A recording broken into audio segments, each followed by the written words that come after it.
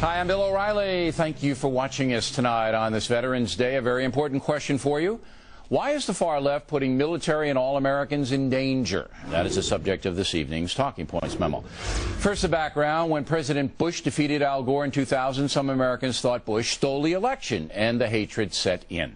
Then 9 11 happened, and most Americans supported the president when he aggressively went after Al Qaeda and their enablers. Then came Iraq. Again, most Americans supported the action, but the far left did not. Subsequently, the Iraq War became extremely difficult, and the far left became increasingly strident and bitter towards Mr. Bush. And even though things are getting better in Iraq, that bitterness is still in play. So now we have a situation where some Americans are putting all of us in danger because they hate Mr. Bush so much. Texas billionaire Mark Cuban, who owns the Dallas Maverick basketball team, has financed a movie that portrays American soldiers in Iraq as murderers and rapists. There is no question this film will incite anti-American hatred around the world, but Cuban doesn't seem to care and has lashed out at me for reporting the situation. Well, this guy's never seen the movie, but he's out there threatening Mark Cuban, if you release this movie, I'm coming after you. like, I'm really hard to find, Bill, right? You know? I'll be at the Dancing with the Stars finale, just come on, show up, and you can tell me what's on your mind. But at the same time, there is every bit of me that just wants to say, Bill O'Reilly is a moron. All right, this is for you, Mr. Cuban. I would never sit through a movie that shows American troops raping and murdering a 14 year old girl. Ever. You ought to be ashamed of yourself. While you're dancing with the stars, sir, hundreds of thousands of brave military people are risking their lives so you can do the mambo without fear of some terrorist blowing you the hell up. Your arrogance is horrifying.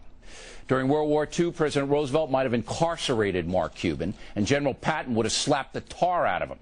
But today, Cuban's anti American actions are ignored in many quarters. That must change. So I am asking Dallas Maverick ticket holders to bring signs to the arena that say, support the troops. Very simple, no negative just support the troops. And that way Cuban might get the message. And if any movie theater in your neighborhood shows this vile film redacted, let's stand out in front of the theater with the same sign, support the troops. Even if you disagree with the Iraq War, even if you dislike President Bush, no loyal American should support an enterprise that incites hatred against America. For some reason, Mark Cuban has a grudge against this country. In a free society, he's entitled to that. He's not entitled to put our troops in the field in even more danger. And that's the memo. Now for the top story tonight. Two other views of this. With us now, Margaret Hoover, a Republican strategist, and Kirsten Powers, a Democrat and Fox News analyst. All right, Powers.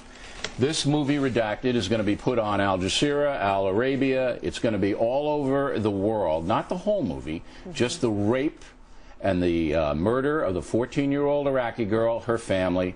It is the most vile, disgusting stuff in the world. Are you going to be out there, Kirsten Powers, with me, with a sign in front of the movie theater that says support the troops. Are you going to be there? No, probably not. You're not? Um, I don't. I, I, have a problem with the movie. Uh, I don't think that I have to hold a sign that says support the troops to prove that I support You don't want to send a message to this I don't think. Guy. I think that uh, we've talked about this on the show before. I mean, I think the way this movie's been promoted is is pretty disgusting. You have the director going out and saying essentially that you need to see this movie so you can understand what's going on in Iraq, implying that because a few people did a very bad thing, that all of our soldiers are doing this. And I think you're right. It will be used for propaganda to suggest that this is in fact what all of our soldiers are doing, when of course it's not, and the people who did so this So why wouldn't punished. you make a public stand against it and join me out there in the theater with the sign? I just don't think it's necessary to do that. I mean, I'm not opposed to you doing it. I just don't feel that I need to do that to, you know. How about you, Ms. I will absolutely be out there with you because this is an incredible example of the hubris of the American far left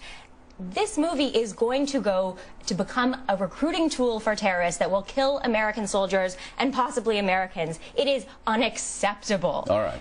So you're going to be there. Powers is it? Now let's talk about Cuban. He is a Dallas billionaire, made his money on the net. This country allowed him to do that. He is now basically, this is his second foray into this. He financed a, a conspiracy film about 9-11, which you talked about. He got Car Charlie Sheen to narrate. After our reporting, Sheen backed away, and that picture is in limbo. So now you've got two. You've got two. One, America attacked itself on 9-11. Another Iraqi troops rape. And I mean, this is a graphic scene, ladies and gentlemen. This is horrible. This is some of the most awful stuff you would ever see in any movie. So, what are we to think and what are we to do about a Mark Cuban? I think exactly what you're doing, Bill. Uh, you, you speak out against it, but we live in a free country where he is allowed to do this. I mean, we can't stop him from doing it, uh, nor do I think we should stop him from doing it in terms of the government. I mean, you talked about, you know, what would FDR do with him? Maybe throw him in jail. I don't think people should be thrown in jail for free speech. But I do think that you can put pressure on them and, and talk about issues and raise issues and All raise right. awareness. And we'll have more. on. We'll have more information about what we're going to do and when we're going to do it coming up. And, and it goes to the far left's inability or sort of want to not help in the war on terror. Yeah, it's a That's Meryl what it Streep comes syndrome. off. That's what it comes off. Yeah. It comes off like somehow they're responsible or they're guilty or they just feel uh, too conflicted about helping America. Well, they feel no, the no, the Meryl Streeps of the world and these people who won't say we want America to win the war on terror believe it's our fault. Terrorism is our fault. That's where that's where it It's is. They don't buy the war on terror premise to begin with. Right. We fought. We did it. We're the bad guys. So why should we cooperate with anything? And and I mean, these aren't your people. You're a liberal. You're not far left. But I think you should be out there with that sign, Powers. I think your mother will call you tonight after this oh, broadcast. yeah. In fact, I, I can almost bank on this and say you better get out there. Well, I'll think about it, Bill. Or you're not getting Thanksgiving dinner, Powers. You're not getting. if you don't have no control there. over that, Bill. I don't, but I know your mother, and she said either you're out there with the sign or you're eating a diner. Don't you think so, Hoover? I agree. I, I wouldn't let her in Come the on, You living should do it. Join us. Support All right. the troops. Once again, this Cuban guy, we are going to have a response to this movie, and we will tell you, keep you posted on what we're going to do, where we're going to do it, and all of that.